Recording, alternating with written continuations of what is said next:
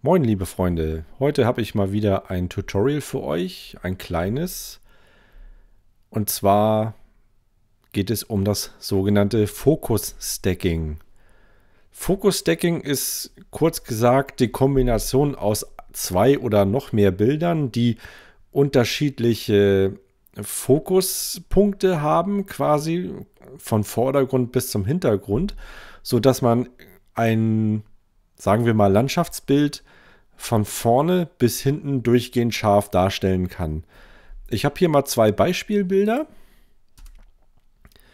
Das hier habe ich den Fokus vorne auf diesem Holzscheit. Und wie man sieht, im Hintergrund die Seebrücke. Das ist übrigens in Kellenhusen an der Ostsee. Die Seebrücke ist unscharf. Während das beim anderen Bild genau andersrum ist, das Holz ist unscharf und die Seebrücke ist scharf.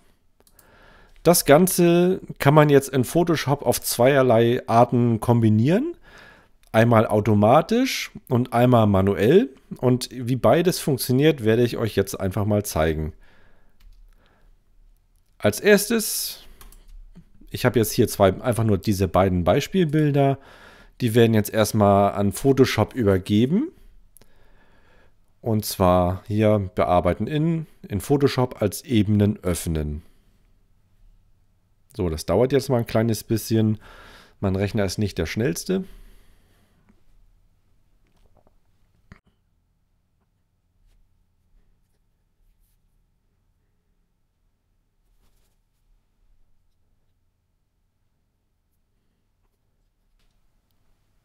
So, jetzt haben wir beide Bilder da und dann können wir loslegen. Fangen wir mit der automatischen Funktion an.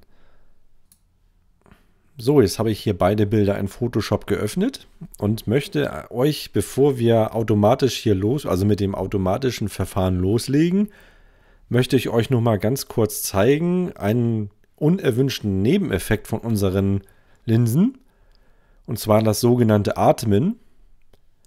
Ich denke mal, das wird in unserer Preisklasse, in der wir uns bewegen, wo wir uns Linsen für 1000 Euro oder vielleicht auch 2000 Euro kaufen, durchaus oft mal vorkommen.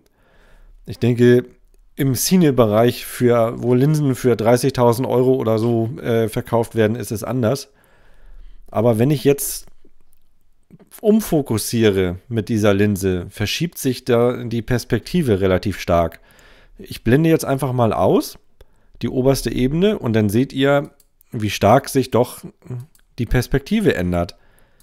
Als wenn ich die Brennweite geändert hätte oder sogar leicht die, äh, die Kamera verrückt hätte, das habe ich aber nicht. Das ist jetzt etwas, wo wir gegen anarbeiten müssen.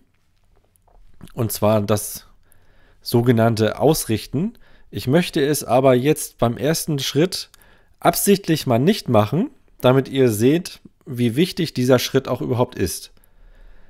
Als erstes beide Ebenen markieren und dann im Menü bearbeiten, Ebenen automatisch überblenden. Damit machen wir gleich das Focus Stacking. Wir machen, möchten einen Bilderstapel erstellen und okay, Photoshop rechnet ganz kurz. Zack. Man hat gesehen, es hat sich eindeutig was getan. Jetzt zoomen wir mal hier mal ein bisschen rein. Hier vorne ist es schön scharf. Hinten auf der Seebrücke auch. Aber hier ist irgendwas dermaßen schief gelaufen. Und nicht nur da, sondern hier auch auf den die Muschel hier. Da ist noch eine Muschel. Die gibt es einige Sachen, die hier scheinbar doppelt da sind. Das ist eben der Fehler. Warum wir vorher ausrichten müssen. Und das zeige ich euch jetzt in einem neuen Versuch. So, dann gehen wir mal ein paar Schritte zurück. Einfach mal wieder auf Ebene löschen hier. Das ist eigentlich quasi der Startpunkt, wo wie die Bilder angekommen sind. Und jetzt wieder beide Bilder auswählen, und diesmal gehen wir vorher auf Ebenen automatisch ausrichten. Hier haben wir mehrere Möglichkeiten, aber für unseren Zweck reicht das Automatische vollkommen aus. Bis jetzt habe ich nie Probleme damit gehabt. Also okay.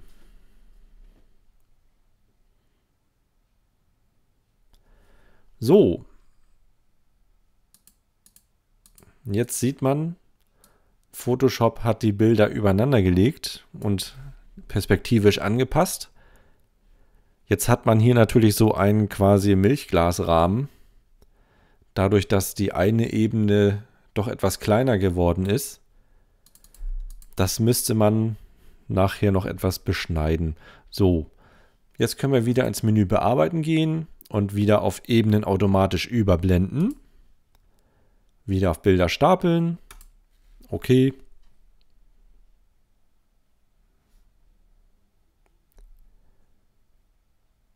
Und da haben wir es schon.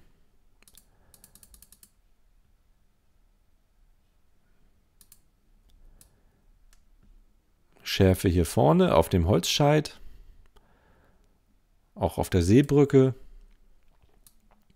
und keine doppelten Muscheln, keine doppelten Steine.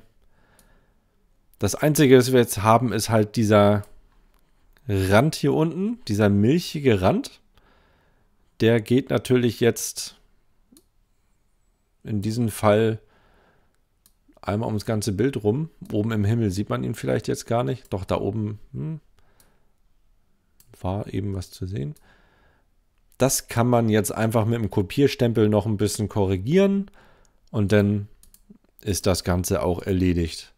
Das spare ich mir jetzt einfach mal und zeige euch im nächsten Schritt, wie man es noch manuell machen kann. Da kann man auch, wenn man jetzt mit diesem Zuschnitt vorher schon sehr zufrieden war und möchte nicht im Nachhinein das Bild noch beschneiden oder so. Oder man könnte zum Beispiel auch mit dem Kopierstempel, wenn man damit nicht so gut umgehen kann, dann kann man das auch ohne Ausrichten hinbekommen. In diesem Fall geht es eigentlich relativ gut. Ich denke mal, es könnte aber bei anderen Motiven Probleme geben. Aber wie es funktioniert, zeige ich euch trotzdem einfach mal. Dazu gehen wir wieder ein paar Schritte zurück. So, wieder auf Anfang. Und jetzt machen wir das Ganze einfach mit einer, einer Ebenenmaske. Das geht eigentlich wunderbar, finde ich. Jetzt kann man sich hier quasi durch die Gegend pinseln. Hier auf diesem Strandmotiv fällt es überhaupt nicht auf, ob nur der Holzscheit nur ein paar Zentimeter weiter äh, nach hinten rückt oder so. Deswegen finde ich diese Methode hier auch gar nicht weiter schlimm. Das Einzige, wo man doch echt aufpassen muss, man, es kann wirklich mal passieren, dass man wirklich mal eine Ecke übersieht oder so. Das ist mir damals bei diesem Bild auch passiert.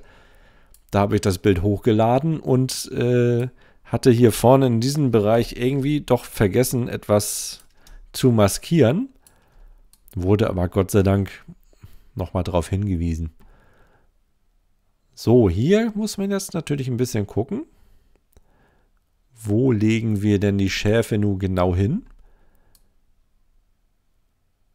Und man muss wirklich gut dabei aufpassen, dass man keine Geister entstehen lässt. Also Steine oder Muscheln mit doppelten Konturen.